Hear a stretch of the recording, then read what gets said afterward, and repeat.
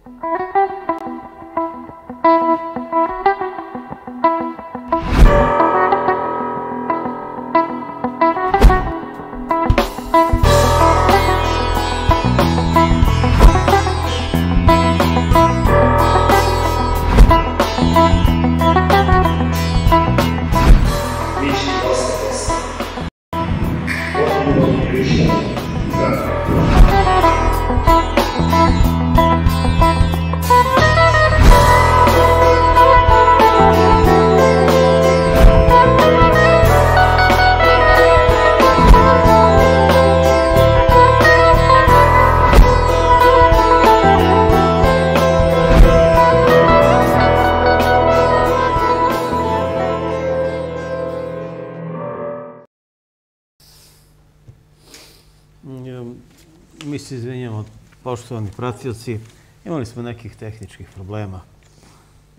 Internet je danas jako zauzet, pošto je subota i onda ljudi puno streamuju, gledaju, ovaj, gledaju serije, binđuju. A i tema je jako depresivna. A da i tema je toliko- da i mi smo internet nije upali, da. da izdrži. Ovaj, da, moramo nije. malo da se ovaj, nasmejemo, da vas podignemo vaš moral i da vam Da. se zahvalimo što ste ovaj, Što ste odani što nama, nas i da. dalje pratite.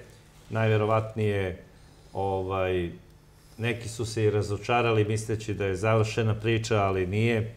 Tek priče predstoje. Ovo nije malte ne bio ni uvod. Da. Ako se vi slažete sa mnom. Tačno, hvala.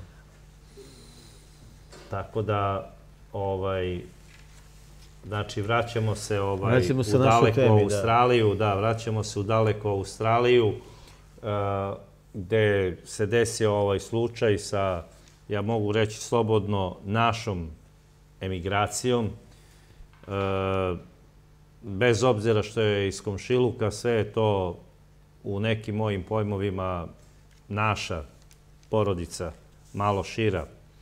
Tako da, e, namjerno smo počeli ovu priču sa Australijom da ne bude, eto, e, imali smo neke katastrofe, neka ratna dešavanja u okruženju, pa sada sve je nešto što je najgore dešava se kod nas. Znači, sve ovo što mi pričamo dešava se od najbogatijih država do najsiromašnijih. Ono što se dešava u Beogradu, dešava se u Tirani, Ljubljani, Zagrebu, Sarajevu, Sofiji, Bukureštu. Znači, Balkan kompletni i apsolutno od Hollywooda do Australije, Tokija i Južnoafričke republike.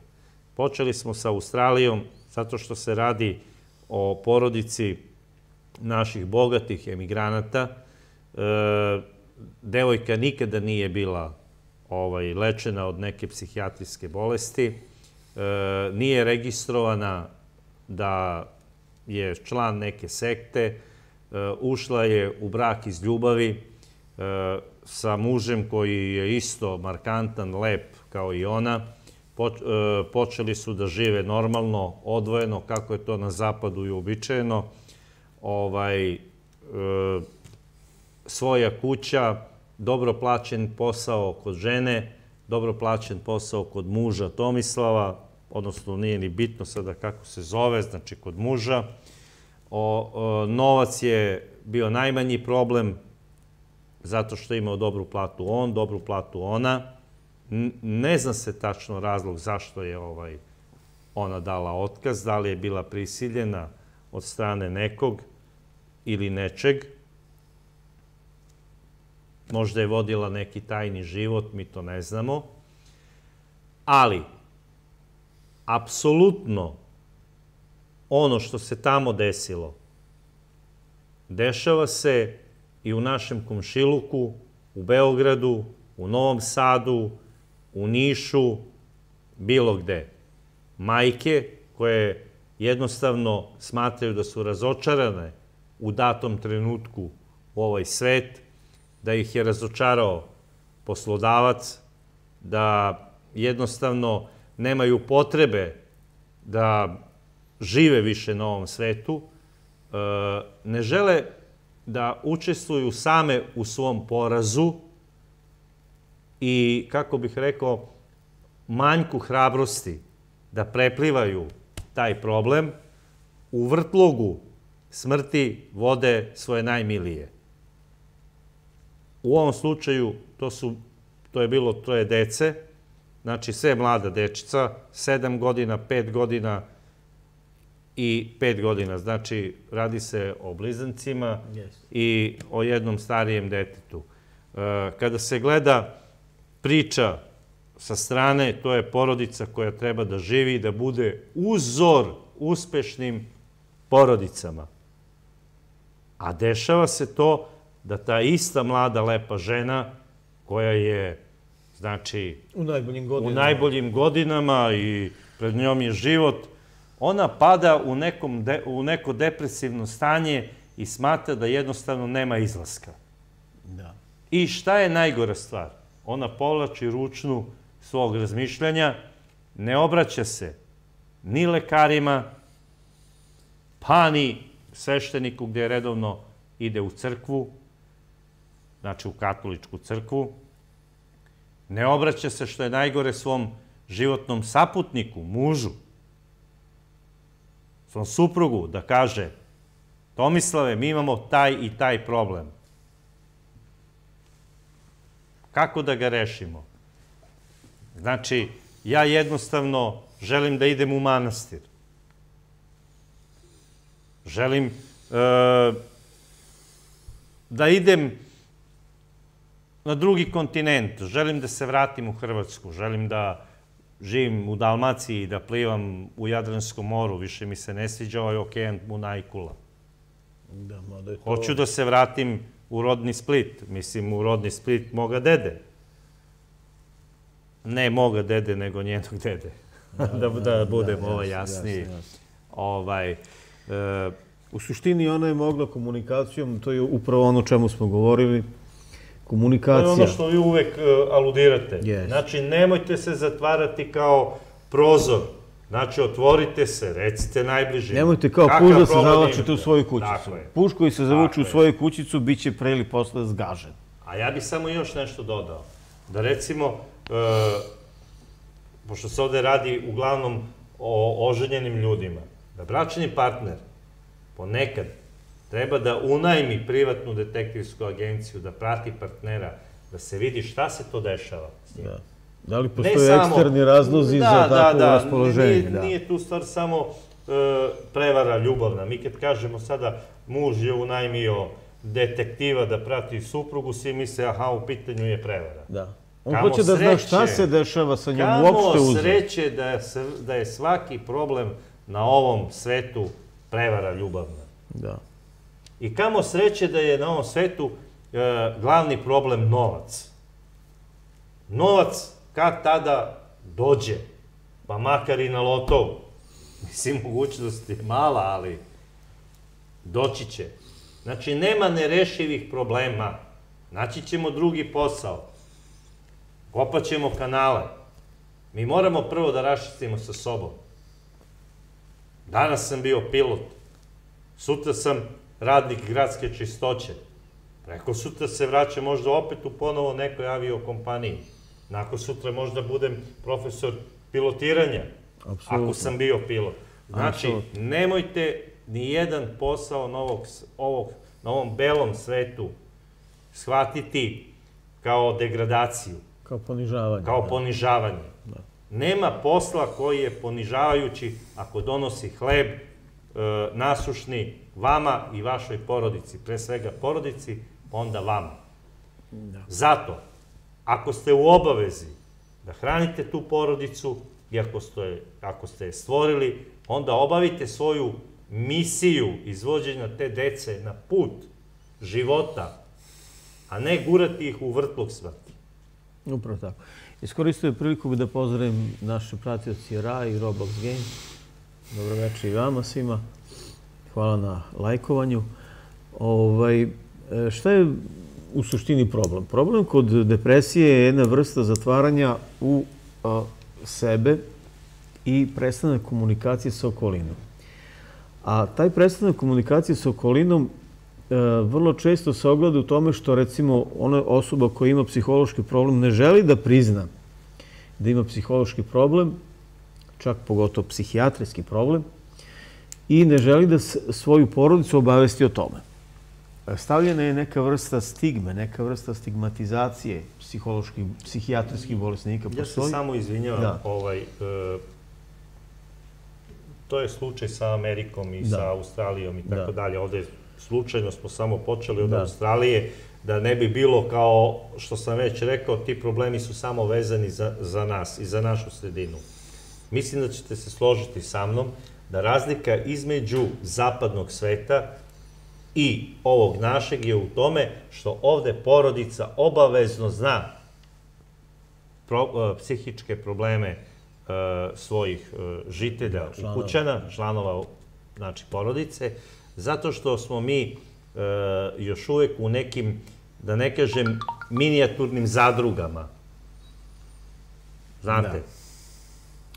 Ovaj, pozdravljam i ja gospodina Ličinu, Ličina je naš verni pratilac, svako vam dobro želim i ovaj, izvinite na ove tehničke probleme koje smo imali. Nadam se da vam se emisija dopada kao i uvek.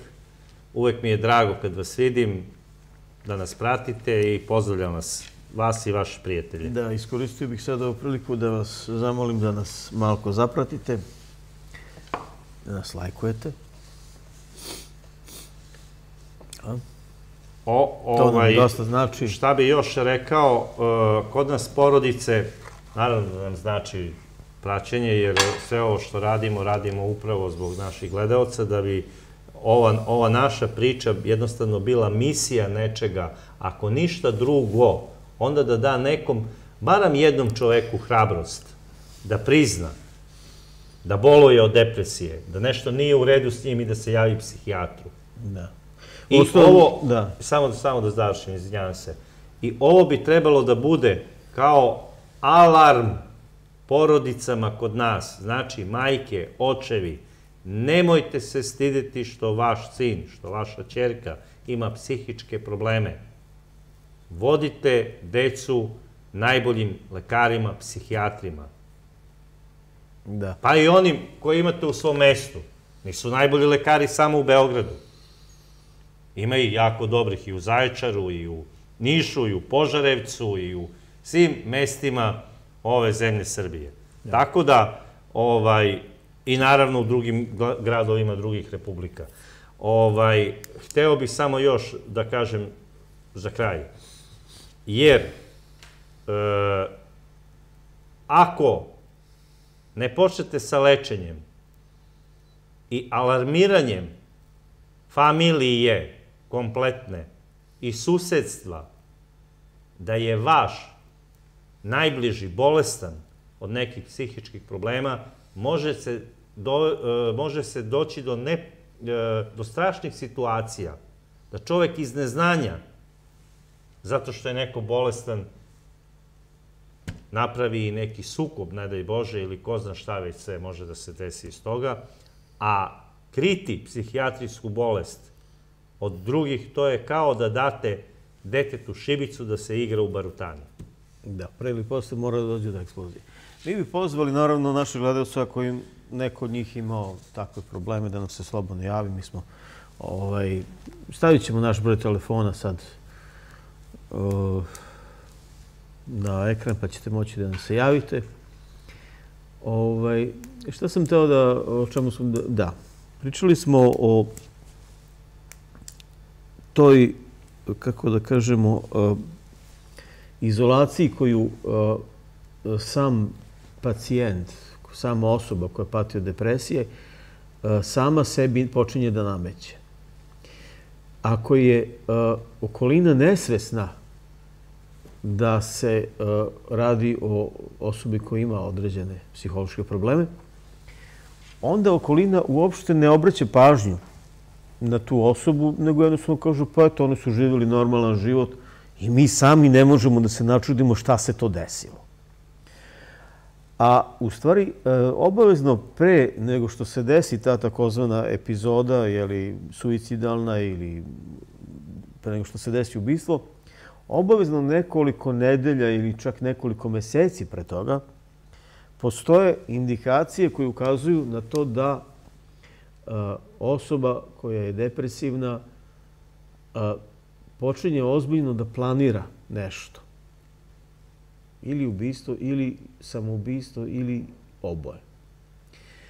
Tako da osobe koje su u okolini, a posmatraju depresivnu osobu, mogu to i na neki način da predosete. I naravno to onda može da se i predupredi. To su, to su Amerikanci, američki lekari posle drugog svjetskog rata zvali sindrom gospođe Goebbels. Zato što je ona razočarana ovaj, padom Trećeg rajha, smatrala da jednostavno njeno šestoro dece nema razloga da živi u svetu u kome će vladati Amerikanci i Rusi i uzima najjači otrovi i truje ih. Yes. Da bi posle toga otišla ovaj, u dvorište i mislim tog e, sablasnog bunkera ovaj, i izvršili samoubistvo, ona i Goebbels. Što se njih dvoje tiče, to je okej, ali njihova deca su trebala da ostanu da žive. Da. I njihova deca nisu kriva za... Ne, ono to su- da, da. Znači nije bilo potrebe da tako i je, ona bude... tako je. Zločin roditelja se ne ostavlja u nasledstvo deci, Da, upravo tako. a boga mi ni naciji. Pa ni naci. Ne bi Tako trebalo, je, ne bi smelo je. da se to... A zato, ovaj, zato i imamo slučaj da je sada Nemačka vodeća sila u svetu e, i pogotovo u Evropi. I ekonomski, i kulturno, i finansijski u svakom pogledu. Tako da jednostavno... Ta prošlost je na neki način zaboravljena ili... Ne ili- samo, ne, ne, ne, ne, ne sme se zaboraviti. ne sme se zaboraviti, da, ali oproštena na neki tako način. je, tako je. Oproštena, tako da. da, recimo, upravo kada pričamo sada o, o toj psihijatriji i problematici, e, oni su vodeći sada u svetu, po meni, lično mislim u Evropi sigurno, a možda i u svetu. Da. Jer najviše su otišli u tom razvoju nauke, najviše ulažu u svetsku nauku i zdravstvo. I, ovaj, e, nažalost, imaju i oni puno slučajeva dešavanja tih samoubistava u Nemačkoj. Imaćemo posle i slučaj ovog mladog pilota koji potiče Da, da, iz bogate porodice, možete se složiti, e, i kod nas, i u Nemačkoj, i u Americi, ne može svako da bude pilot. Ne može. U principu obuka, obuka u avijaciji je mnogo, mnogo skuplja nego obuka vožnje, obično, recimo, motornog vozila. I ovaj, poznato mi je slučaj jednog eh, nemačkog pilota koji je eh, Andreasa, on je u stvari austrijanac, Andreas Ljubić, To mu je isto. ovaj, koji je se zaposlio u German Wingsu i koji je sa eh, koji se avionom zakucao u, u planinu i tu je bilo nekih stotinjak mrtvih. Naime, o čemu se radilo? Sam, sam avion je e, leteo, bio je prisutan i pilot. Andras Ljubić je u to vreme imao nekih 28 godina, on je bio kopilot. I imao je možda nekih pre nekoliko, da, jeste, pre nekoliko godina. E, on je u suštini, jeste, on je u suštini imao ne- nekih možda 300 sati, 300, 350 sati naleta. Hvala I vam, radio Vesna. je kao kopilot. Radio je kao kopilot. U suštini on bio neka vrsta pripravnika. Hvala Vesna, volimo i mi vas. Gledate nas. I šta se desilo? E, Pilot je naravno otišao u toalet u nekom trenutku. Ovaj se lepo zaključao i ovaj pustio je m, neki, ispustio je verovatno, e, pošto su leteli na nekoj visini, jel? Zatvorio je dotok kiseonika Za- i jeste, oni su zbog e, visinske ove, razlike, pali u komu. Da, pali su u nesvest i... Visinska koma, to se zove visinska visinska koma. Jeste. I, se- obrušio je, i onda znači uključio automatskog pilota i nanišanio vrh e, jedan u Alpima gdje će se zakucati i u... u... I zakucao se, da. je. Znači da je on to planirao. On je to planirao. e, Pilot je pokušavao da uđe u kabinu koja je bila, vrata su bila zaključena. Ovaj, međutim, e, na osnovu snimka iz te crne kutije, takozvane, ovaj, vidi se da on uopšte nije odgovorio. On uopšte nije odgovorio. Seku, pozdravljamo Seku, poljubac za Seku, pozdrav još jednom za Robija Petkovića. Znači, zbog vas i radimo ovake emisije, e, računamo da ćete ovo preneti komšijama, što mi pričamo, pozdravljamo i veku. Ovaj, sve vas volimo i e, ove emisije su namenjene u smislu e, vama kao jedna misija koju vi treba da prenesete komšijama i ako primetite neko stanje, neko dešavanje u komšiluku, daleko od toga da treba ismevati komšije, treba mu pomoći. A nekad je i pomoć prijaviti pozorniku, gospodine pozorniče, sa našim komšijom nije u redu to i to, počeo je da se ponaša malte ne kao neki čudan monah u ovom stanu, a živi sa ženom, sa decom. E, molim vas, obratite pažnju na njega, mislimo da nešto nije u Da redu. nešto nije u redu s njim, Tako da je. može nešto da se desi. Znači, nekad i ala, alar, alarm iz komšiluka spasava nečiju porodicu. Jer ovde upravo govorimo o slučajevima koji su zbog depresije uništili e, sobstvene porodice. A upravo smo počeli i priču gde se uništava jedan kompletni avion sa putnicima. Ja mislim To je oko ogromna 200, šteta, da. koliko je Tako bilo tačno. bilo. 170. Ovaj, znači, šta je sad karakteristično za ovaj slučaj? Jednostavno, utvrđeno je kasnije, uvidom u njegov zdravstveni karton i razgovorom sa ljudima koji su ga obučavali u tim nekim školama, pošto su to a, letenje se ne uči u jednoj školi, nego se prelaze različiti nivoji, pa onda se ide iz jedne škole u drugu i tako dalje. I ono što je karakteristično za njega da je on za svega nekoliko godina promenio 40 lekara. Kad neko promeni 40 lekara, onda to znači da on u suštini nije zadovoljan radom svog lekara, ne osjeća poboljšanje svog stanja ili jednostavno e, nije, e, nije sposoban da na, adekvatan način proceni e, ono što se dešava sa njim i na neki način to je reakcija na terapiju.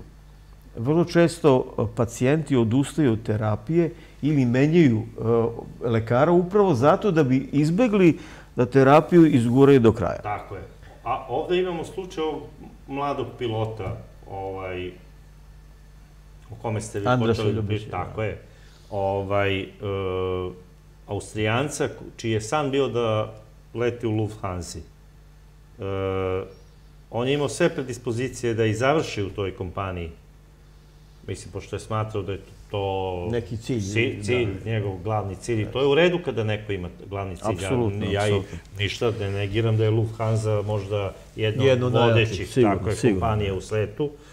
E, međutim, on e, vidi svoju nesigurnost i sada, da bi e, opravdao to što ne može postati pilot, jer on vidi da je bolestan, Da da, on se s njim osjeća, nešto da, dešava, dešava da on jednostavno živi u nekom paralelnom univerzumu. Koji se s vremena na vreme je. e, vraća u On normalu, pa onda opet izlazi. On je podvojena ličnost, pošto potiče iz bogate porodice, krije se da je on bolesnik, znači to nije sramota, znači on je psihički, on je pacijent, Da. ali eh, nažalost nije postao pacijent lekarski, nego u stvari on bio svoj samouki lekar, On je sam sebe, sebi dao tako je. terapiju, a Kupovao koristio je, koristio je, da. Kupovao je neke lekove za smirenje, Da. tako dalje i tako dalje, što koriste alkoholičari, ali ne i oni kojima se e, priviđa da čuju neke glasove tamo vamo, jer kada sam radio malo ovaj slučaj detaljnije, e, on u svom dnevniku vodi, on vodi dnevnik, u kome doslovce kaže ovako, ja ponekad čujem glas, odnosno sanjam san, da me zove čovek telefonom i kaže mi prizemni avion, prizemni avion. Da. Znači, Spusti spusti ga, tako je. Znači, i to kaže kada ti ja kažem, onda to treba uraditi. E, da li, znači mi sada ne pričamo ovde o, nekim ljudima koji su oteli avion pa su se zakucali u neke zgrade iz nekog verskog fanatizma da bi poslali neku terorističku poruku tamo nekoj velikoj sili. Ovde se radi o čoveku koji hoće da prikrije svoje psihičke nedostatke i svestan je da ne može da prođe lekarsku komisiju redovnu koja se bar dva puta obavlja putem sistematskog pregleda da bi se dokazala psihička sposobnost pilota i on smišlja detaljni plan. Izvršit ću prizemljenje aviona, ubiću samog sebe jer nisam sposoban da budem pilot, ali će to platiti i svi ostali da to izgleda kao nesreća. Pa da ja i pored toga što sam nesposoban, budem žaljen od čitave nacije Evrope i sveta. Da. Upravo da, avionske nesreće se dešavaju danas relativno redko. E, vidimo da nam je, ja, Vesna nam javlja da je njena rođaka bila u tom avionu je stradala, nam je jako O, žao zbog strašno, toga. strašno, strašno, Ovaj. I e, čemu se radi? Eh, Pilot e, je, Andras je, Ljubić je u suštini počeo svoju karijeru pilota. Prvo je bio član jedriličarskog kluba, tu se lepo uklopio sa društvom, znači nije pravio nekakve probleme, ekscese i tako dalje. Jedriličari su sportisti, oni uče letenje. Letenje se inače najbolje uči na jedrilicama zato što nema motora. E, učite da vozite e, koristići vazdušne struje i tako dalje. I jednostavno e, stiče se jedna ljubav prema letenju. Uh, Andras je očigledno još kao mladić, kao tinejdžer stekao tu ljubav prema letanju i kasnije on uh, počeo da uh, upisuje naravno školu pilota motornih aviona. Međutim, šta se dešava? Um, jedan od osnovnih strahova koje postoje u, kod ljudskih bića jeste strah od pada. Znači, to je ugrađeni strah koji postoje kod svakog čoveka. Od rekao. pada. O, znači, to je, Dakle- ako doslovno stavite nekog, recimo, neko će se uplašiti ako se popne na stolicu, a neko će se uplašiti kad se popne na zgradu. Ali strah od pada je jedan urođeni strah koji služi zato da bi čovek, naravno, vodio računa o tome šta radi, jer Jer gravitacija je vrlo opasna je, stvar, znači ubrzavate nemamo se. krila. Nemamo krila, nismo anđeli. Tako da je... Ili ptice. Da, ili ptičice, jeste. Ovaj, tako da je u suštini Andras Ljubić odlučio da se bavi jednim poslom za koji on definitivno nije eh, psihološki pripremljen zato što ima taj strah koji je možda recimo mogao da se izleči eh, jednom malo čudnom terapijom sad I- koju sam ja Da. ovaj, čuo više puta od ljudi koji, se, je. koji su piloti, kaže, a to je skakanje iz aviona padobranom. Znači, šta se dešava? I ja bih samo još Da. nešto, pogotovo kod Nemaca je ta bolest, ovaj, e, ne samo kod Nemaca, nego uopšte u zapadnom svetu, a pošto su Nemci sinonim za uspeh u zapadnoj Evropi, kod njih je jedna e, posebna bolest e, u priči, ono e, generacijski rad. Kao što kod nas u našem kraju imamo recimo generacije pekara iz određenog mesta, generacije zidara iz određenog mesta, tako u Nemačkoj svaki posao se radi generacijama. Znači imamo 7, 8, 10, 12 generacija lekara. A recimo, dete ne želi da bude, i ne samo što ne želi, nije sposobno da bude lekar, ali je to kod njih, mora da se nastavi porodična tradicija. E, njegov deda je bio pilot Luftwaffe-a, koji je poginuo iznad La Manša. Andreasov deda je bio pilot Luftwaffe-a. Poginuo je u bitku za London. Tako da, ovaj, e, on ima neku svoju onu germansku predispoziciju, kao ja moram da letim kao moj pokojni deda koji je heroj rata, ja sam naslednik e, tog imena, iako je moj deda mogao da dobije metalni krst od e, Geringa, mogu i ja. Mogu i ja da vozim ovaj avion, samo što ovde se ne radi sada o pilotiranju Luftwaffe-a i da. štuke, nego se radi o avionu koji prevozi 200 putnika. I kao što vidimo, u tom avionu je, nažalost, ovaj, bila i rođaka naše drage Vesne. Meni je stvarno žao što se to desilo, Vesna. Ali mi je drago da ste se javili i da zajedno podelimo ovaj, e, vašu tugu, naravno. Ovaj, sve je to tužno što nam se dešava. Verujte mi. I znači unuk hrabrog pilota Lut Fafea smatra da ako nisam ja sposoban da se nosim sa problematikom letenja, onda i ovi ljudi koji su u avionu i koji se voze da bi došli do svojih porodica i da podele sreću Da, oni su sa bili na svojim nekom familijama, odmoru. Oni su bili na nekom odmoru, u čini mi se, da. Vraćali su se sa odmora. Da, vraćali su se sa odmora, ja mislim da su bili u Španiji. Tako, Tako je, iz Španije, sećam ja. ne, ne da mislite, nego se vraćali Ovaj- iz Majorke. Da. E, Da bi počeli normalne poslove u Švajcarskoj, Nemačkoj, normalno, gde rade. normalno. To su, Tako to, ja da- mislim, to je bila neka jeftina, ovaj, German Wings je neka jeftina aviokompanija. U suštini šta je problem bio? E, Kod njega su postojali i ti unutrašnji problemi i spoljni problemi. Spoljni problemi, on je radio u toj kompaniji gde e, se Ali ljudi otpuštaju. i- tako je, ali je otpuštaju- čuo, čuo glasove za koje čak u jednom momentu e, mislio da ga zove deda sa onog sveta. E sad, kažem, na, te, na taj stres, inače pilotski posao je izuzetno stresan zbog toga što prvo vi se podižete, podižete avion na visinu, ovaj, od, otprilike u kabini je e, pritisak kao na planinu od 3000 metara. Tako. Zašto ljudski organizam nije baš ovaj, tako osposobljen ili kad treba da dođe do takve aklimatizacije, ona se relativno sporo sprovodi, znači u roku nekoliko dana i tako dalje.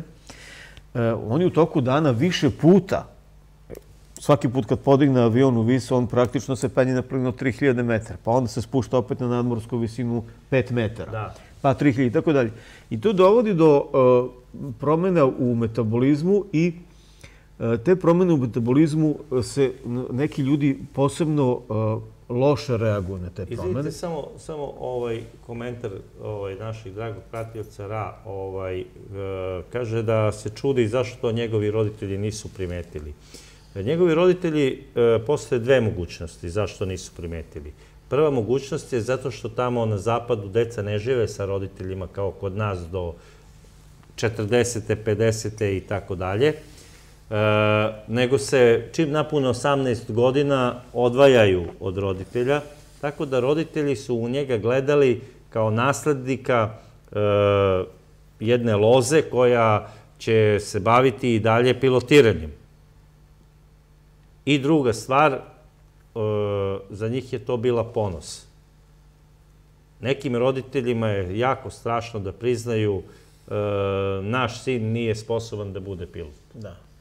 A još veća katastrofa je ta što deca takvih roditelja, ambicioznih roditelja koji u deci vide ostvarenje svojih neostvarenih snova, ona nemaju hrabrosti da kažu roditeljima, mama, tata, ja imam taj i taj problem. Da, mene to ja ne mogu Za njih da je radim veća i- katastrofa da kažu to očevima i majki, pogotovo sinovi kad su u pitanju, da kažu mama, mene je strah da vozim, ja čujem neke glasove, ne želim da letim. E, Za njega je veća priča, idem avionom u brdo i čao. Da. Biće lakše i meni i roditeljima. Da, u suštini, uh, u suštini taj unutrašnji pritisak, koji, taj spoljni pritisak koji se vrši na, na, ovaj, uh, na decu, uh, se u nekom trenutku prestvara u unutrašnji pritisak. Znači, više nije potrebno da oni njemu stalno sole pameti, da ga gnjave. Odnosno njima, on ima Da. više njih u sebi. Da, i dolazi do podvajanja ličnosti i neke, pojavljuju se nekakvi, nekakve ličnosti, da tako kažem, to nije samo super ego, to nije samo, um, ne radi se samo o nekakvom moralnom um, imperativu koji inače svaki normalan čovjek treba da ima u sebi ako je, ako je uopšte ljudsko biće. Nego se radi o tome da postoji internalizacija tih spoljašnjih uticaja i stvari se praktično jedna persona, jedna ličnost, unutar ličnosti, koja počinje da mu stalo nešto sipa u uvo, da mu soli pamet i tako dalje. I ta osoba onda se nalazi u situaciji da praktično ovaj, počinje da čuje glasove. A šta je još tu problem? Znate, piloti imaju veoma veliki problem sa spavanjem zato što e, piloti često prelaze te takozvane časovne zone i vrlo često njihovo radno vreme je produženo zato što oni ne samo što moraju da lete, oni moraju da dođu na aerodrom, jel? pa da odu sa aerodroma. Tako da je to ovako dosta ozbiljan posao i u principu posao koji je jako stresan i piloti se jako puno i razvoda, imaju težak život privatne Zato prirode. imaju beneficiju šest Imaju, jes, imaju. i 80% su alkoholičari. Da. Svaka čast onima koji nisu. Da, uglavnom su, Pričamo da. o civilnim pilotima. Da. Uglavnom, sam- uglavnom, piloti piju zato da bi lakše zaspali. Međutim, šta se dešava? Ma piju da od straha. I Straha od naravno, letenja. naravno, šta se dešava? letenja. U toku letanja se dešavaju raznorazne takozvane, e, takozvani incidenti koji se vrlo često i ne prijavljuju. Znači, avioni su, e, ti vazdušni putevi su dosta zakrčeni, ima slučajeva, na primjer, da letite i odjedno samo proleti pored vas neki avion koji niti vi ste ga videli, niti ste uopšte nemate predstavu da se taj avion nalazio tu i onda shvatite da ste za delić sekunde recimo ovaj, izbegli sudar u sred vazduha, da ne pričam sletanje, uzletanje i tako dalje, koji su inače veoma rizični ovaj manevri, čak i sa današnjom modernom opremom i moderni avioni još uvek e, uzleću sa velikim i sleću sa velikim rizikom. I vrlo lako je slupati avion. To je jako, jako lako uraditi. Dovoljno je samo moment nepažnje i katastrofa je praktično završena.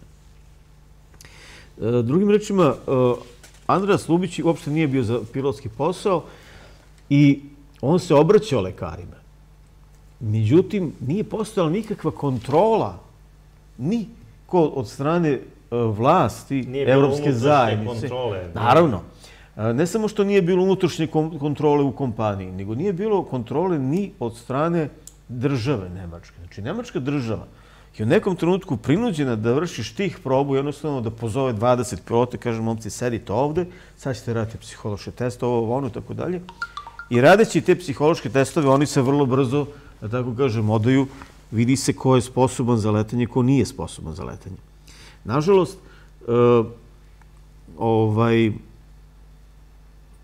nažalost, mi imamo taj problem da, se, da postoji nedostatak pilota i da A Nedostatak je svega i lekara i pilota, ali to nije razlog da neko ako je nesposoban ovaj, obavlja funkciju, pogotovo tako odgovoran posao prevoza ljudi. To je jedna stvar. E, Druga stvar, e, ako, znači, ako je on slučaj za psihijatriju, ne može da bude u avionu. Kod nas je običaj, znači, pričam o mom iskustvu dok je bio JAT. Sada kako to funkcioniše u ovoj novoj nacionalnoj kompaniji, ja to ne znam, pretpostavljam isto, ali sećam se kada je JAT radio, on je radio unutrašnju kontrolu sa svojim pilotima i obavezan sistematski pregled na svaka šest meseca.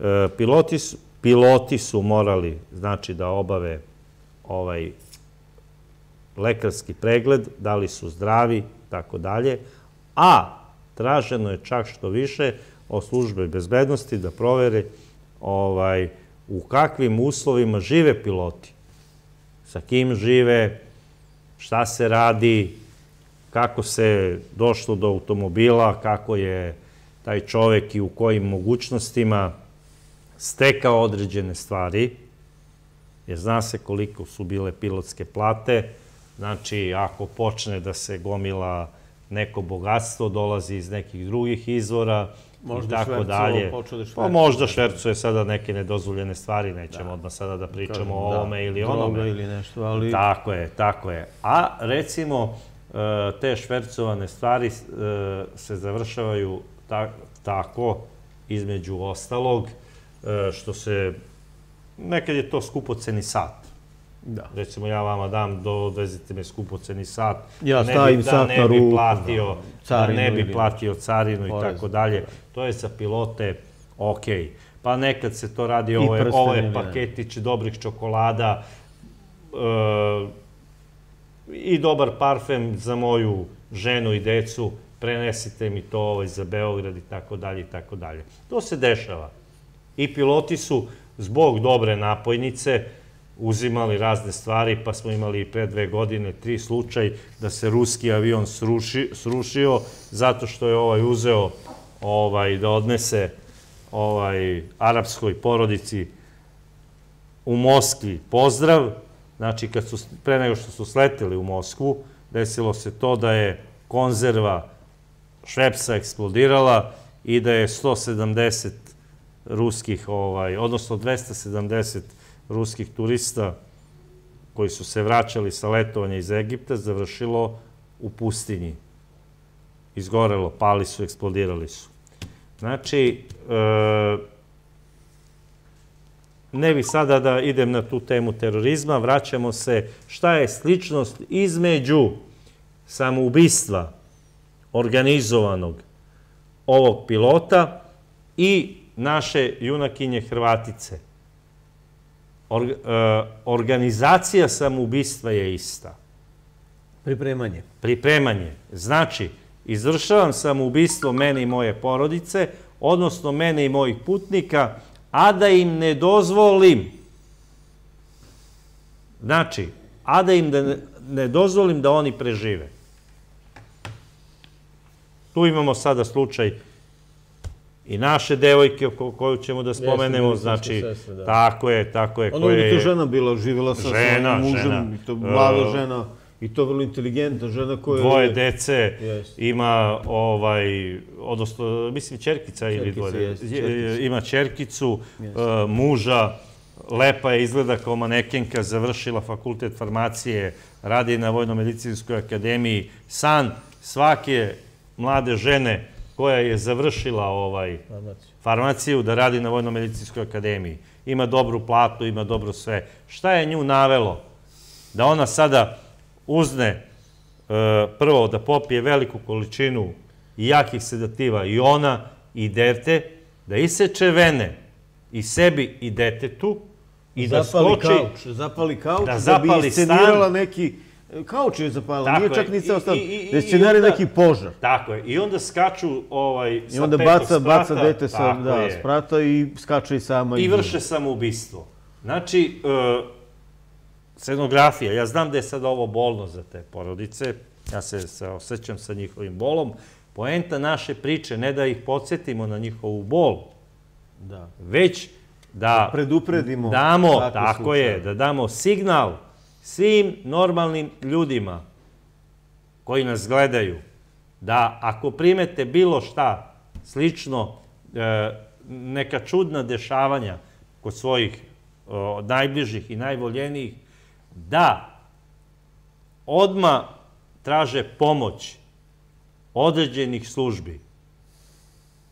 Da li je to neuropsihijatrija ili možda nekad e, je to ovaj, i potreba da se obratite i službama bezbednosti, između ostalog. Jer ovde se ne radi o osobi koja je e, radila bilo gde. Ona radi na Vojno-medicinskoj akademiji. Tamo ne može da radi bilo ko. Da, one be, Tamo se rade izuzetno. Tako provere. je. Možda je njoj e, moglo da dođe na ideju da ona recimo... Potruje pacijente tamo Otruje, lekare da ne kažem sada koju da. ličnost koja se tamo leči. Normalno, normalno. Dovoljno je samo da zameni uh, ovaj... Ma ona samo malo praha stavi Ma u onu hranu. bocu, ma ne mora da. da stavi prah, samo zameni bocu infuzije, da, Da. pogrešnu infuziju pogrešnu infuziju i dođe i koktel je napravljen zdravo doviđenja. do... Da. Ja bih samo još nešto hteo da kažem. Znači, e, počeli smo priču od daleke Australije, pa zatim civilizovane germanske Nemačke, da bismo se vratili ovde na brdoviti Balkan i to u Beograd, a takve slučajeve imamo i u Nišu, i u Zrenjaninu, i u Novom Sadu, i u Sarajevu, i svuda, svuda, svuda na brdovitom Balkanu. E, šta je sličnost ovih e, pojava. Namerno smo uzeli slučajeve gde se ne radi o, o, o, o, ovaj, o onoj socijali koja je na dnu.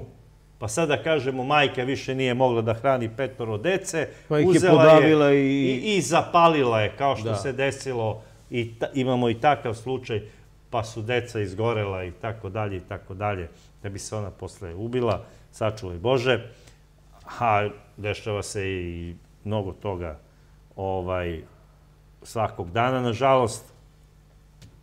E, uzeli smo ova nekoliko slučaja iz, znači, gornjih slojeva društva, e, gde imaju uredne plate, gde prvo svi izgledaju i ova e, devojka, odnosno žena koja je živela u Melbourneu i ova naša koja je živela ovde u Beogradu na Banjici, e, šta je, šta je njihova sličnost? U svojim sredinama dobro plaćene, voljene, full izgledaju. Izgledaju kao filmske glumice. Imamo momka iz bogate porodice u Nemačkoj koji je zadovoljan svojim životom, iz prebogate porodice, lepo izgleda, pilot je, umesto lepo da je otvorio kafić, ja više neću da budem pilot, i da, Da. se bavi nekim drugim poslom. Bavi se i dalje sportskom Tako je, pilotažom, znači kupi sebi je. avion, da leti bude s vremena voljen, na vreme, da, da bude voljen. normalno. I kakav je problem? Posećuje Da. psihijatra, ima kafe, živi lepo, neka se zove kafić aerodrom. Da, kod Nebitno pilota, je. kod Tako pilota, je, kod da. pilota. Znači, ja sam bio pilot, nisam bio zadovoljan više ovaj, ovim poslom. Počeli su da me ucenjuju zbog ovog, ovog, ovog i onog. Dao sam otkaz, radim ovo, hoću da budem ugledni ugostitelj, Građanin, da. građanin i to bi i bio. Cenjeni poštovani. To bi i bio. Znači, nije katastrofa.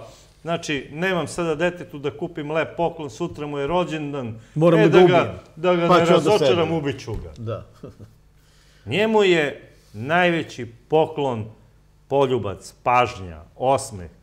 On od vas očekuje, ono od vas u stvari očekuje ovaj, da, da ste vi ti koji se treba žrtvujete za njega u svakom pogledu, ako treba da date i život. A ne da ga uhvatite i bacite kroz prozor zato što vam je smanjena plata 10%. Sada, to najverovatnije da nije bio razlog. Nije bio razlog. Od plate od 10%. Ne, ovaj, ali- Danijela je imala, Danijela je naknadno se ustanovila, naravno, tokom istrage, da je Danijela počela neposredno pred smrt da ovo, imate takozvane epizode, ovaj, da je počela da e, vređa muškarce, da vređa Razočarala, Razočarala se u muškarce. Pa da vam kažem, nije, nije ne verujem da se ona razočarala u muškarce, nego jednostavno je počela nepovezano da priča, došlo do takozvanog raspada ličnosti. I onda e, pojedine priče, ne znam, pričala o Kosovu, pričala o ovom, onom, tako dalje, e, pojedine priče koje mi svi čujemo ili na televiziji ili čitamo u štampi i tako dalje, jednostavno ostavljaju traga u nama i u momentu kad dođe do takvog jeli, pada u depresiju, tešku depresiju, onda e, takve reči počinju da izlaze iz nas. Mi to možda i ne mislimo, ali jednostavno tako smo nešto pročitali pre možda mesec, dva dana i to je sada to tako izašlo iz nas. Ja bih htio samo da skrenem pažnju na jednu situaciju koja je alarmantna. Naime, desio se slučaj da je u Sjedinjenim državama čovjek koji je bio potpredsjednik banke, znači izuzetno uspešan finansijski ovaj, preduzetnik, ovaj, jer ti potpredsjednici i predsjednici banaka su i sami bogati, imaju jako dobre plate, a imaju još i razno razne investicije ove koje im se, za koje im se pruža prilika. Znači čovjek uopšte nema nikakvih finansijskih problema. On je u nekom trenutku vrtao sebi u glavu da on treba da ubije svoje, svoje, svoje dvoje dece, to bliznakinje, i onda kad je ubio jednu, onda je jurio po stanu i ovu drugu da ubije i nju, da ne napravi razliku između njih. Ih je podjednako volao. Podjedno ih je voleo. Da. E, takva bolesna ideja koja se već mesecima ovaj, e, dobroveče, Aco, a, ta bolesna ideja koja se njemu u tom trenutku javila, ona je, kao što on sam kaže, on je preživeo, hteo da se ubije, pa se onda predomisli i tako dalje. A, To ja često naglašavam, samoubice potencijalne uvote pobiju celu svoju, svoju familiju, onda pucaju sebi u glavu i promaše. Znači, um, to je dokaz da se radi u suštini o ljudima koji su uh, vrlo, vrlo bolesni. Znači, to nije neka epizoda, nego se radi o jednom trajnom stanju koje je već mesecima jeli, napredovalo i dovelo do toga da čovjek napravi takav pokolj u svojoj kući. I onda šta se dešava sad? E, ono što sam, na što sam hteo da skrenem pažnju, naravno, on je sam sebe prijavio ovaj, policiji. Policija naravno u šoku, ljudi ne mogu prosto da veruju šta čuju preko telefona i tako dalje. Oni dolaze, on se umeđu vremenu i presvuku i tako dalje, pošto je bio sav ovaj, oblidan krvlju. I žena se vraća kući, zatiče policiju ovaj, i tako dalje. I oni su imali još dece. I žena nastavlja da živi u toj kući i počinje da posećuje tog svog muža. I on je moli za oprošte, ona to prihvata i ona jednostavno nastavlja njega i dalje da voli. On je naravno osuđen na doživotnu robiju, dve doživotne robije. Znači, ona se ne preudaje. Ona na neki način njemu to sve oprašta i nastavlja da živi u toj kući sa njihovom decom i čak i izjavljaju, ja volim što sam bila u braku sa njim i volim još uvek što sam u braku sa njim. Znači, tu postoji jedna pojava, takozvani stokholmski sindrom, gde se žrtva poistovećuje sa mučiteljem. Doslovno, žrtva uh, koja je taoc jednog određenog uh, bolesnog čoveka, radi se ovde ne samo o depresiji, nego se radi i o uh, osobama koje imaju, da tako kažem, predispozicije za psihopatsko ponašanje. Pa da, da ona jednostavno ne sveta, ona ne može da se orijentiše u situaciji da kaže ovaj čovjek ubio moju decu, mogu da pobiju i ovu drugu decu, mogu da ubiju i mene. Znači, nema apsolutno nikakvog razloga da se ja više ikad u životu vidim sa njim. I da mu se javi obrati bilo šta. Ni, ni prekid, totalni prekid ovaj, komunikacije. Ma, to su I... malo čudne pojave. Imali smo slučaj onaj kada je držao rođenu čerku ovaj, u zarobljeništu 30 i nešto godine je silovao da bi ona posle patila za njim, što su ju oslobodili. Da što su je oslobodili. Da. Či drugim rečima, ovaj, ovaj, drugim rečima, hoću da kažem... To je bilo u Beču, u centru yes, Beča. Centru Beča. Uh, šira društvena zajednica je i kod nas i uopšte u svetu zakazala kad je u pitanju briga o uh, deci, zakazala je kad je u pitanju briga o ljudima koji imaju psihijatrske i psihološke probleme i Time se nekad bavila proširena porodica. Kod nas se znalo, otprilike u selu, se znalo, recimo, taj i taj je takav i takav, i onda ajde, nemoj da ga diramo, nemoj ovo ono, da ga provociramo i tako dalje. A i sama porodica je imala uh, obavezu da se brine o svojim članovima, pa je takve članovi jednostavno izolovala. Znači, to je bila tradicija. I zašto? Zato što je uh, otac porodice, to jest uh, najstariji u porodici bio odgovoran za sve ono što se dešava u, toj, u okviru te porodice. I onda on morao da vodi računa o tome šta članovi porodice rade, šta bi mogli da urade i onda je on morao da organizuje na neki način da se takvi ljudi izoluju. Jer oni su bili u stalnom neposrednom kontaktu i takvi bolesnici su bili po stalnom neposrednom kontrolom. I oni su bivali izolovani. Mi danas više takvu situaciju nemamo, znači porodica više, proširana porodica više ne postoji, a i ova takozvana nuklearna porodica e, je vrlo često narušena ili e, ne postoji potpuna kontrola, totalna kontrola nad ponašanjem dece u toku 24 sata dnevno, tako da se otvaraju mogućnosti, otvara se određeno vreme, kada su deca praktično izložena ovaj, napadu ili od strane komšiluka ili od strane e, roditelja ili od strane nekih ljudi sa strane. Tako da praktično mi ćemo morati da napravimo neki socijalni mehanizam da se svi ljudi u slučaju uh, ovog Andreasa, uh, Andreasa, kako se zove, uh, Čovek je, čovek je jednostavno dobio izuzetno odgovornu, uh, izuzetno odgovoran zadatak. Oni mogu da se sruši na neki zgrad, mogu da se zakucaju u neku zgradu, mogu da pobiješ mnogo više ljudi.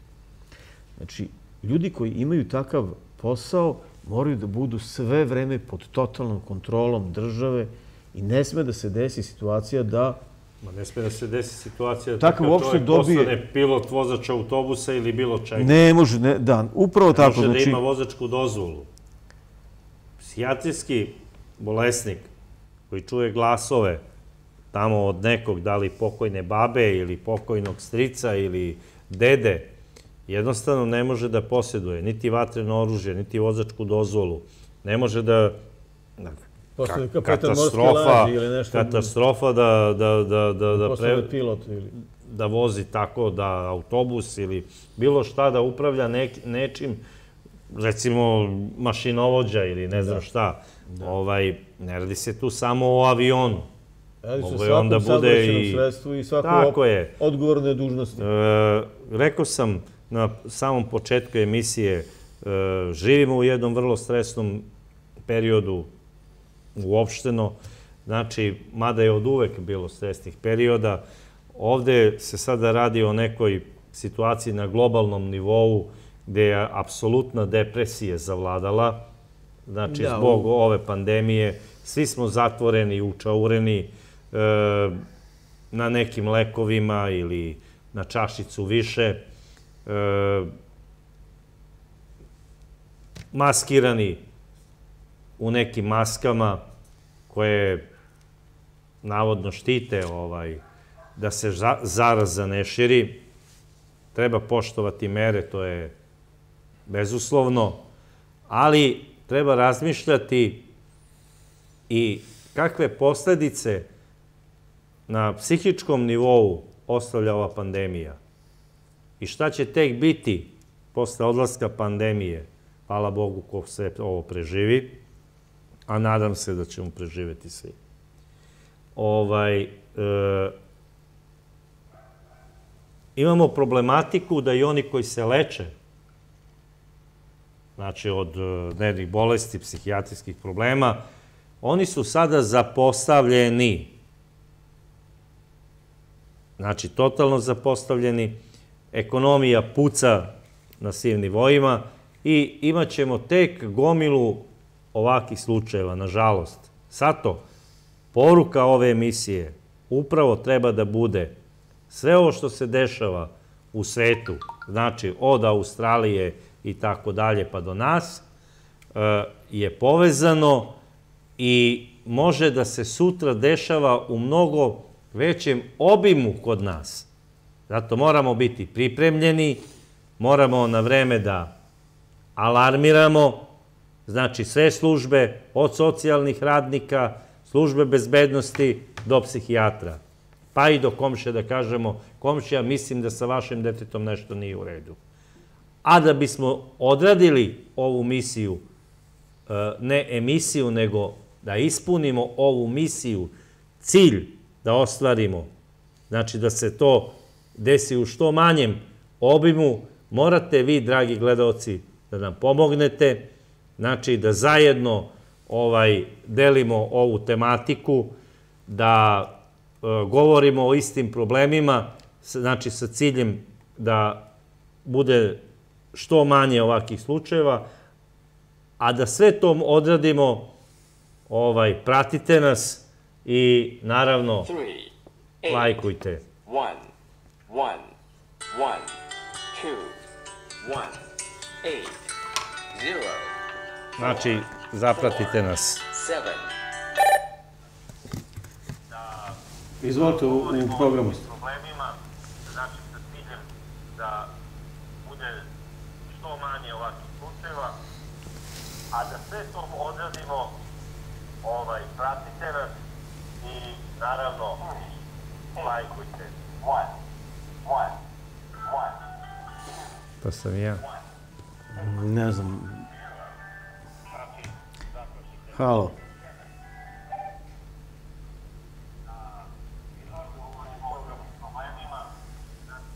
Ne znam šta je to. Ne znam. Halo? Ne, ne, ne, ne, to nije... Šta je nešto sa vezom nije u redu? Nešto sa vezom nije u redu. Ništa, u Da. svakom slučaju sad je već pola Ne, neko, osam. ne, ne- neko ko se javio, ovaj, pustio je mene, Da, ovaj, da, pustio je mene, ovaj, šta sam govorio, pa to problematika. Ovaj, znači, kada nam se javite, isključite ovaj, ton, Isključite tako to da, sa tako je, računara, tako da je. bi mi mogli da, ovaj, da čujemo vas. Ne. Three. Ajde. Eight. One. One. One. Halo, dobro večer, izvolite. Halo? Izvolite. Halo, dobro večer. Izvolite. Da li Dobro. se čujemo? Dobro večer, čujemo se. Da li čujete vi nas?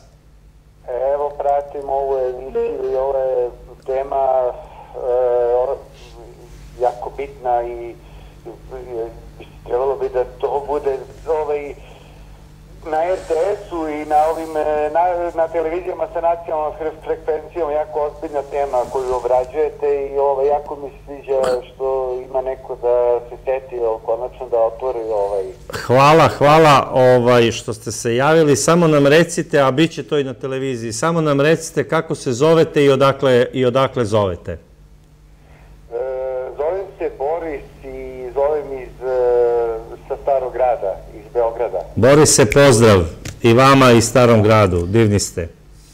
E, e, recite mi, ovaj, da, li, da li ste imali iskustvo ovaj, u komšiluku ili sa nekim prijateljem e, koji je imao depresivno stanje pa ste mu vi pomogli ili jednostavno je možda neko vama pomogao?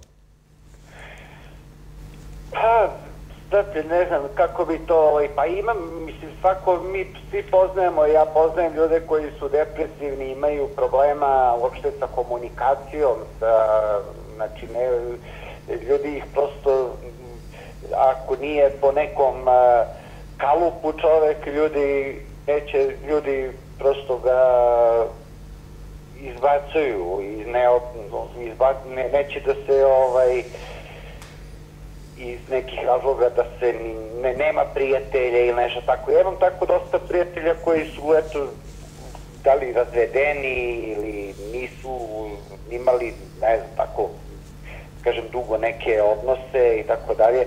I onda, ovaj, čovjek da je odvuču neku depresiju i, ovaj, slabo ljudi pričaju o tome, ne umeju da kažu. Ovaj, ne znam, ja mislim da ne znam, pošto je to, da kažem, to nije posle, e, e, to, e, to, to je posledica. Mislim da kada bi, uzrok je to što, mislim da se ovde društvo što ne bavi kako da ovaj, nekim aktivnostima društvenim, da se to, da se malo ljudi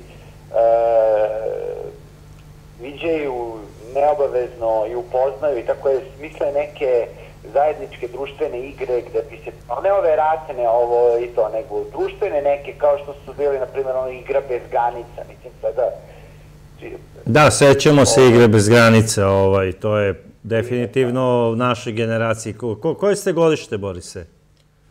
75. 75, Malo ovaj da. glas, pa možda izgleda, zvuči mlađe, ali 75. 75. Dobro, Borise, čim pamtite igre bez granica i ovo, imate dobre ideje. Ovaj, e, jedno pitanje, jeste vi oženjeni, imate porodicu? Ne, ja nisam, ovaj, nisam e, Mhm. u prilici bio da se ženim, ali eto tako se. Ok, a ovaj, rekli ste puno je vaših prijatelja e, koji su razvedeni i tako dalje. Naravno, vi ste sa njima podelili taj problem tako što ste nekad popili piće sa njima u kafani rekli ste im neki savet, e, možda iz ličnog iskustva ili tako, jel da? Pa, naravno, da, da. To je drugarski, prijateljski, jel? Tako je, pa to je bitno. Vremena, strpljenja i tako da se, da, da živite kroz šta čovjek prolazi, onda možete i da mu priđete na neki način mu i da mu pomognete, mislim. Da, tako je, tako je, da, ne, da, da recimo ne dođe čovjek u situaciji da razmišlja ono najgore. Svi su me sad odbacili, ostavila me žena, a sada me i društvo izbegava zbog toga. Ovaj, da li ste imali prilike da vam je neko od prijatelja rekao razmišljam da se ubijem jednostavno, zato što e, sam dobio otkaz na poslu, ajde da ne bude samo žena je u pitanju. Dobio sam otkaz i hoću da se ubijem. Jeste li imali te... Ima takvih. Ima. Mislim, ali više je onako, mislim, to se primeti da je čovjek to stvarno sada rekao. Ili figurativno onako. Da ubije ili kao da je to više kao, eto da kaže, Metafora neka. Da, da, kao metafora je. Da. je. Ovaj, možda, eto, pošto eto, dobio sam priliku da se uključim u emisiju, pa možda, eto, i vidim ima i od slušalaca i koji hoće još da postave pitanja, pa eto, samo da iskoristim za kraj možda još jednu ideju, pa da razmislim o tome. Možda neke, ovaj, da se osnuje neko udruženje, ovaj, e, odru- udruženje razvedenih e, muškaraca ili nešto i žena i nešto pa onda da se organizuju tako neki, neki programi, neko, neko, neko, neki program ovaj, kroz koji bi, kao eto, ja sam dao primer igre bez granica, gdje može da bude nešto, jel ne mora to da bude neka ozbiljno dokazivanje pameti, nego čisto onako neko više aktivnost neka kroz druženje i neku zabavu da se ljudi ovaj, zapravo opuste i upoznaju tako i otkud znam, mislim, eto, to je moja neka ideja. Ideja vam je dobra, ovaj. Ideja vam je dobra. Hvala vam, Borise.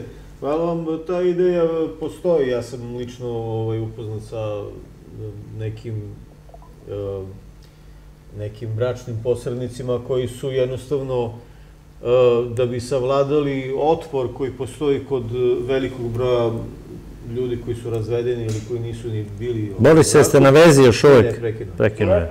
Bo, da. Bo- Borise, ovaj, te, da, da, da, ovaj, upravo sada što dr. Jung kaže, ovaj, ima takih predloga, ima i tih grupacija na Facebooku, samo za razvedene i, o- i tako dalje.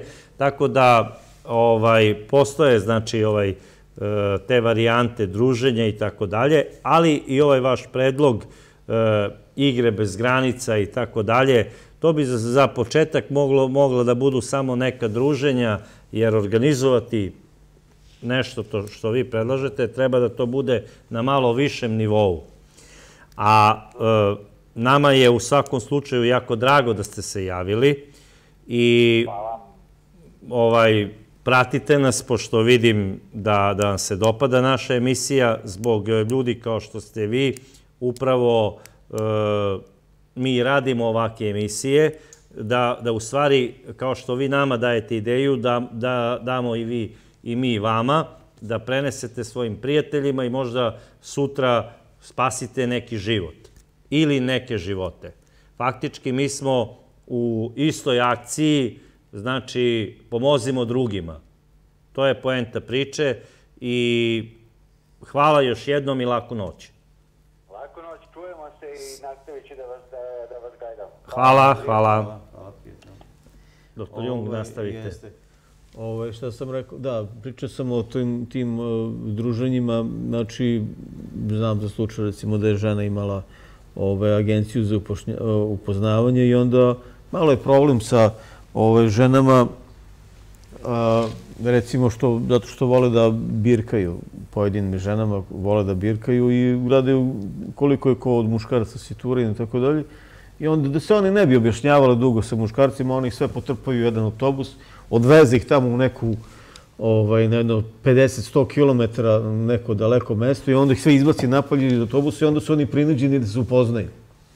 Ima ljudi koji se vrlo teško komuniciraju sa ovaj, predstavnicima e, drugog pola, suprotnog pola i onda to ovako morate prosto da ih naterate da se oni, kako da kažem, otvore, a otvaraju se s vremenom. Znači, ako provedu dovoljno dugo vremena zajedno, onda... Moram, onda... moram da se nadožem na našu priču. Gledao sam jednu emisiju ovaj, o Africi i sada zove se uh, ovaj, druženje sa Himba, Himba narod neki. Imaju, da, da, da. Imaju uh, kolibe za uveseljavanje.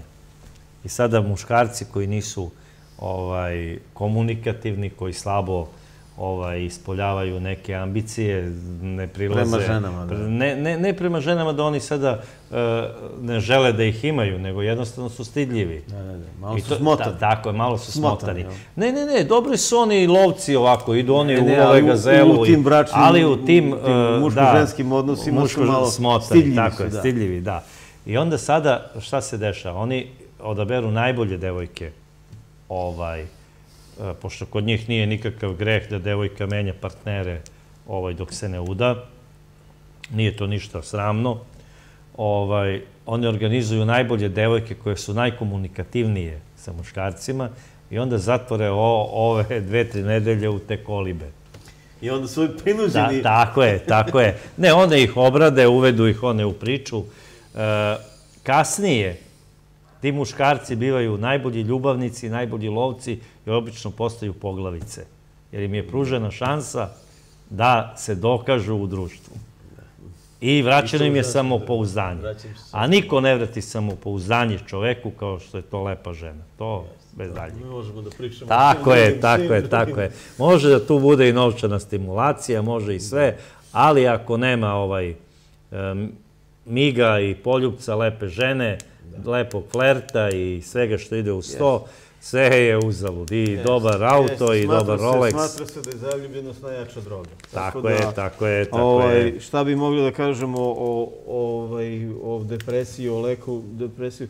Ako ne možete da nađete nekoga čoveka koji će da vas voli ili ženu, nađite sebi neku životinju, neku kuće, mače i tako dalje, igrate se s njim i to će da vas na neki način okupira i ovaj, Pa to je ono već... e, već, ali, Na- da vam kažem, Znači, i to je i dobro, i to je jedan dobar razlog da se ostane u životu. Naravno, i ljubav prema životinji je ovaj, jako da. bitna. Životinja vas nikad neće prodati, ali ne treba gubiti veru u ljude.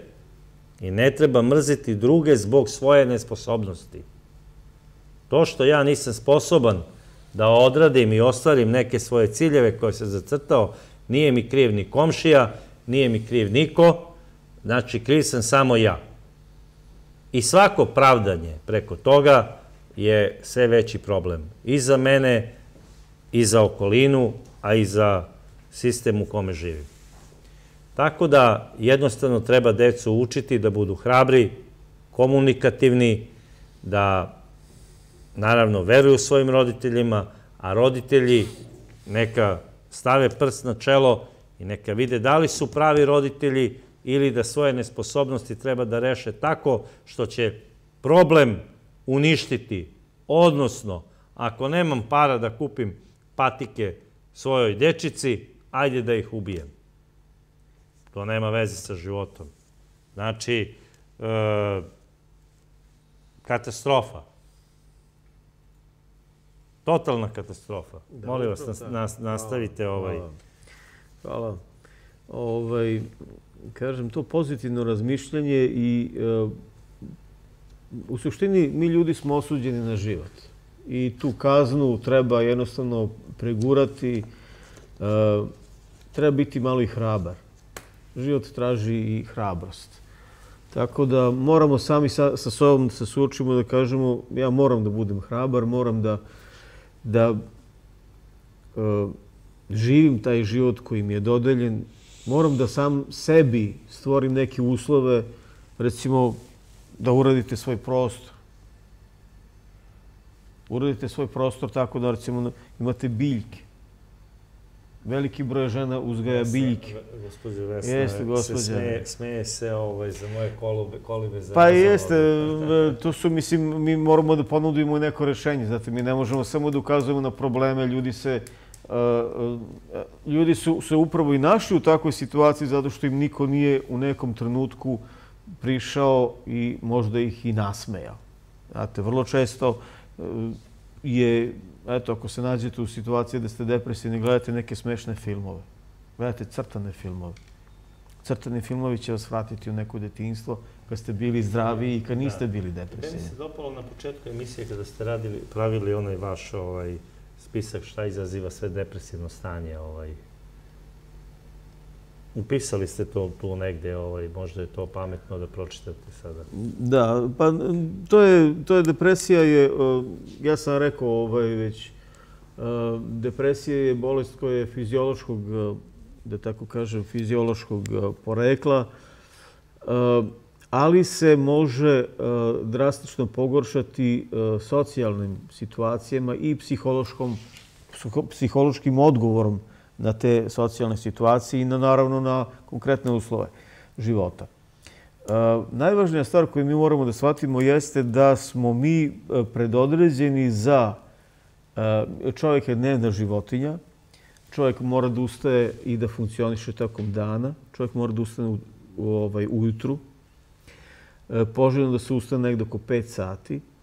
Poželjno da se e, malo odmori negde oko 9 sati, da se napravi pauza, da se recimo odrema ako može oko 9 sati ujutru, da se odrema oko 1 sat ujutru i da se odrema oko 5 sati popodne. I poželjno je da se u 9 sati uveče legne u krevet i da se tih 8 sati provede zaista u spavanju.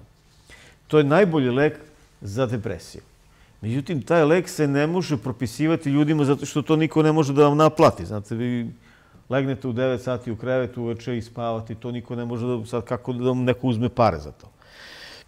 E, Znači, drugim rečima, e, sam, sama porodica, sam, sami ljudi koji osjećaju te probleme sa depresijom, mogu da potpuno promene svoje stanje jednostavno time što će tri puta dnevno da jedu normalne obroke, time što će da spavaju svaki dan. Nema veze što vi niste mogli da zaspite. Samo vi lezite, istuširate se, lezite u krevet, pre nego što legnete u krevet, pojedete par banana, popijete čašu mleka, eventualno kiselog mleka ili jogurta, banane i jogurt vrlo lepo uspavljuju, prirodne su i nećete od toga ovaj, imati nikakvih, kako da kažem, uh, posledice, nećete postati zavisnici od nekakvih sredstava za smirenje. I ne zaboravite da svoje probleme podelite sa drugima, da se uredno javite svom lekaru, da sve što imate, ovaj, da kažete svojoj najboljoj prijateljici, ako ste žena, ili svom najboljem drugu, kažete svom lekaru koji će vas uputiti u dalji tok lečenja ako imate psihičke probleme. Što se tiče nas, ovaj, mi se izvinjavamo još jednom za naše tehničke probleme koje smo imali u toku emisije. E, zahvaljujemo se gledaocima koji su nas pratili. Vidim da je brojka impozantna. Iz dana u dan sve bolje i bolje napredujemo. Drago mi je da vam se dopada ono što govorimo. Zato nas pratite redovno, lajkujte, e, učestvujte, znači, živo u ovu priču, šaljite nam predloge šta bi vas najviše zanimalo.